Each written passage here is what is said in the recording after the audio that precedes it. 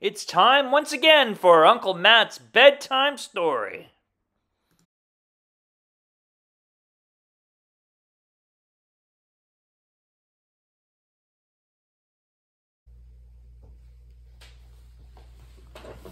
Hello, everybody. It's Uncle Matt, and I'm here to read you another bedtime story.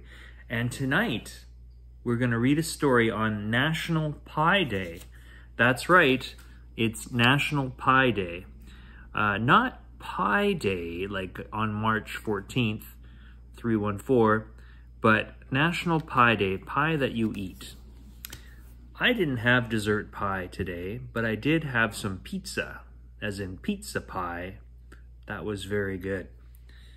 Here's our story.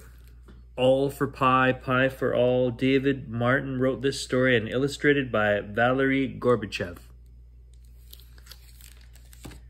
This story was copyright in 2006. Are you ready? Here we go.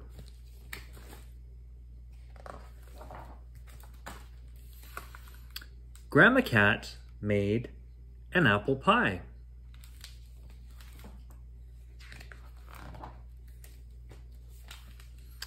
Little brother cat ate a piece, big sister cat ate a piece, Mama cat ate a piece, Papa cat ate a piece, Grandma cat ate a piece. One piece of pie was left.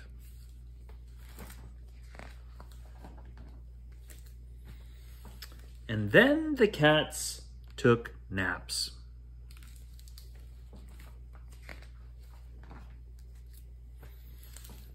I smell apple pie, said Grandma Mouse.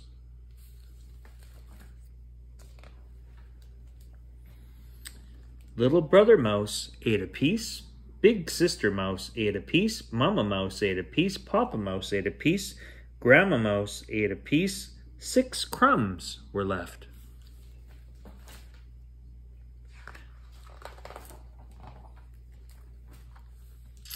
And then the mice took naps.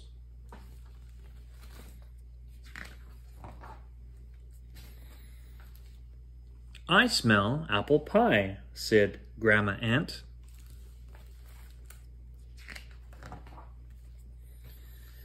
Little brother ant walked away with a crumb. Big sister ant walked away with a crumb. Mama ant walked away with a crumb. Papa ant walked away with a crumb. Grandma ant walked away with a crumb. One little crumb was left.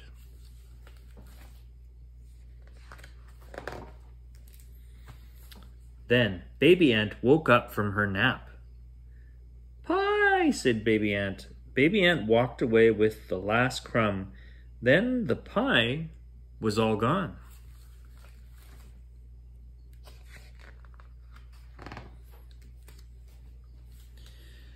I'm hungry. Should I bake another pie? asked Grandma Cat. Yes, yes, yes, yes, meowed the cats.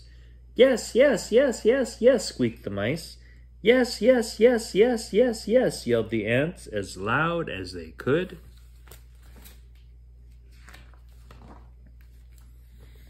So, Grandma Cat baked another pie. This one was blueberry, and Brother Cat and Sister Cat and Brother Mouse and Sister Mouse and Brother Ant and Sister Ant and even Baby Ant all helped make it.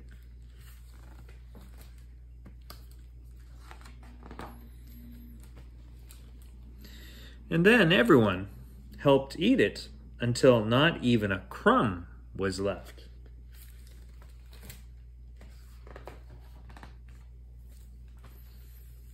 The end. Wow. I wonder if that got you hungry for pies. That's all the time we have for Uncle Matt's bedtime story. I hope you enjoyed that story, and I'll see you next time. Goodbye.